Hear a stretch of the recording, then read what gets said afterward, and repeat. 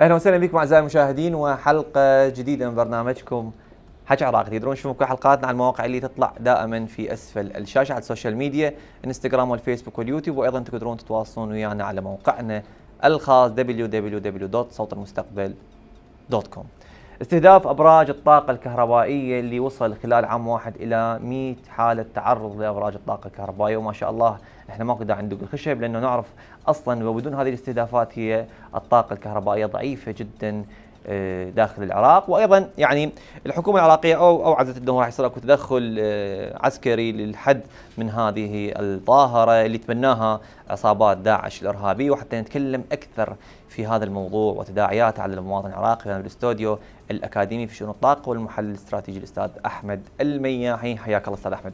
أهلا وسهلا. الله. يخليك. أستاذ أحمد آه، موضوع استهداف أبراج الطاقة يعني آه، مبدئيا شنو الهدف الحقيقي من استهداف ابراج الطاقه هناك مجموعة أسباب، أهم سبب هو العمليات الإرهابية التي يقوم بها تنظيم داعش لكي يرسل رسائل يعني للعالم باننا موجودين لاجلنا زين. نتنفس الهواء، هذا رقم واحد،. رقم اثنين هناك يعني كتل سياسية وأحزاب سياسية تحاول التأثير على مزاج الناخب العراقي بأن ترسل له رسائل من خلال هذا الاستهداف ومن خلال عدم ايصال الطاقه الكهربائية للمواطن بأنه هذه العملية السياسية ميؤوس منها مم. وغير ذات جدوى من خلال عدم توفير الطاقة الكهربائية باعتبار أنه الحكومة العراقيه غير قادره على توفير الطاقة. هذا رقم اثنين، رقم ثلاثة وهو قد يبدو الاهم وأيضا هناك كتل سياسية ترغب مم. بأن يتم تحويل موضوع حماية الأبراج إلى شركات أمنية خاصة مم. سواء أجنبية أو عراقية. بفلوس. نعم. إيه. من خلال دعم هذه آه، الأحزاب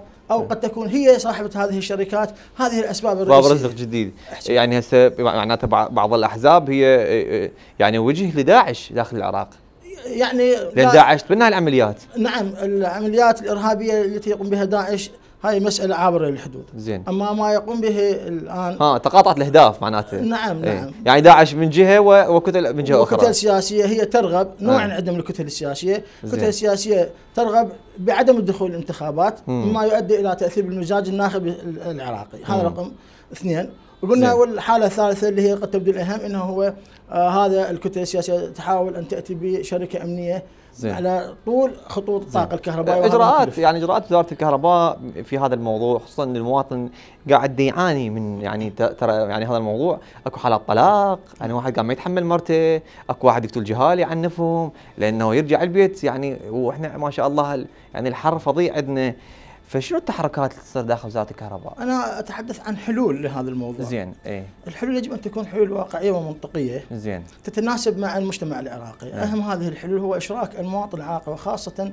العشائر أو المقيمين على خط الأبراج من خلال تسليحهم بأسلحة مرخصة وتزويدهم بأجهزة اتصالات لاسلكية يجب أن تكون يعني متواصلة مع نقاط ثابتة على طول خط إحنا الأبراج يعني إحنا يا- ويا كل برج نحط لنا واحد. لا لا مجموع يعني هذه المنطقة آه. سكنية زين. وتمر بها الأبراج. ممكن هي أنه المشكلة تصير بالصحراء يعني الصحراء. حتى إذا بالصحراء اكو يعني ممكن إنه نستخدم كل الصحراء لديها يعني سكان.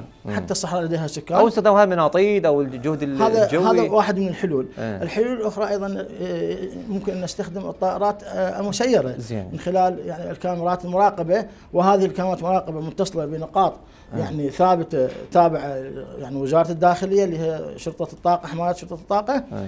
ومن خلالها يمكن يتم التحرك. هذا أيضا يعني حل من الحلول الحقيقة يجب يعني تبدو لي حلول منطقية وواقعية لأن اشراك المواطن.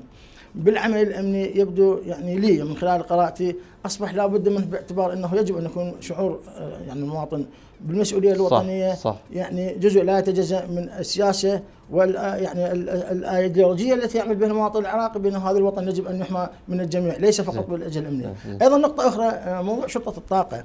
أفضل ما أن يكون يعني جالسين في المقرات عليهم على الدولة أن تقوم بنشر كل أفرادها على هم خط- تابعين لوزارة الكهرباء هذول لو تابعين للداخلية؟ هم كلهم تابعين إلى وحده حماية المنشآت هي تابعة وزارة الداخلية ولكنهم زين. يعملون هذول من نشوفهم شنو واجباتهم؟ واجباتهم يعني حاليا هي بالنسبة لي أنا غير مفهومة ولكن إذا كان هناك رأي حقيقي يجب أن نشر. هؤلاء هم أيضا بالآلاف حق ليس صح هاي نقطه مهمه طبعا. إحنا نعم.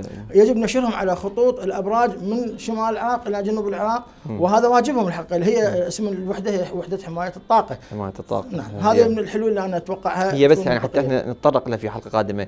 هاي تابعة لوزارة الداخلية. نعم هي دائره أو منشأة وحدة حماية البنى ويوزعوها على على الوزارات وزارة الكهرباء نعم مثلا مسؤول مسؤول على المنشآت الكهربائية. المنشآت. آه. هذا تابع وزارة الداخلية. آه. آه. شعبة من عندها أو مديرية اسمها آه يعني شعبة أو مديرة حماية وجبت تقريبا عدد الموظفين والحقيقة أنا لست قريبا من هذه الموضوع لكن أكيد بالآلاف يعني إيه ليس قليل. أفضل ما يكون يعني في يعني دوائر مغلقة أنشرهم على يعني الأبراج وهذا يعني واجب وطني. زين استهداف الطاقة الكهربائية تحديدا يعني اكو هواي أشياء أخرى غير الطاقة استهداف أي شيء يعني ليش راحوا على الطاقة وهي الطاقة أصلا ضعيفة هسه لو, من حورها يعني الطاقة الكهربائية الطاقة الكهربائية تعني الصناعة، الطاقة الكهربائية م. تعني التربية، الطاقة الكهربائية. تعني راحه نفسيه للانسان في هذا الجو اللاهب الآن صح. إذا لا تجد أجهزة يعني للتبريد أو تستشعر التبريد سوف يعني لا تستطيع أن تقدم شيء حتى إذا كنت موظف إذا كنت صح. طبيب إذا كنت مهندس صح. تحت الجو اللاهب يعني حتى أعتقد يعني المسألة الفكرية تكون ضعيفة ولا تتناسب مع م. قدرات هذا الإنسان لذلك هم يذهبون إلى الضغط على هذا الموضوع يعني قتل التقدم والصناعة صح. والتطور في العالم. يعني هذا هدف عميق، زين يعني من الأخير هذه الوجوه الموجودة بالعملية السياسية أو اللي راح تنتجها العملية السياسية القادمة بالانتخابات الجديده تقدر تصلح الكهرباء لو ما تقدر؟ سيدي الكريم كل شيء قابل آه، يعني للإنجاز، شرط أن يكون هناك شعور وطني وتكون هناك جدية في الموضوع ويجب يجب يعني إبعاد كل موضوع فني عن السياسي. آه. أي موضوع فني يدخل فيه جانب سياسي تكون عملية فاشلة. هسه 13 وزير أو 12 وزير، كل وزير من, من كتلة مختلفة وآخر وزير هو من حكومة التكنوقراط، كلهم ما قدروا يسوون كهرباء. عندما تتحول الوزارة إلى دكان يعني للاستفادة من هذه الوزارة. قطعا تكون النتائج كما دكتور أحمد أنا جدا سعيد بحضورك نورتني اليوم وإن شاء الله ربي هذه الحلول اللي تطرقت لها يتم تطبيقها على أرض الواقع. شكرا جزيلا. شكرا جزيلا لكم. الله يخليك. أعزائي المشاهدين يعني إحنا آه، يمكن كان المفروض بالمظاهرات السابقة ما نقول نريد وطن يمكن لازم نقول نريد كهرباء. يعني يمكن كان أفضل ولأنه آه، وكان ماكو حرب على المواطن تبدي من داخل المنزل. نتمنى من الحكومة القادمة يعني لأنه الحكومة الحالية نشوف آه، صعب تتحرك في ظل الظروف الحالية يصير أكو تحرك حول ملف الطاقة الكهربائيه أعزائي المشاهدين وياكم نهاية حلقتنا هذا اليوم. انتظروني بالحلقات القادمه في الله.